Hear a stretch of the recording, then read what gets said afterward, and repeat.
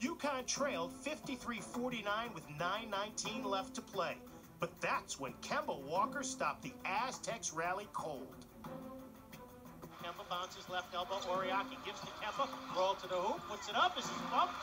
No call, and he lays it in. 24 for Walker. You know, I just made shots.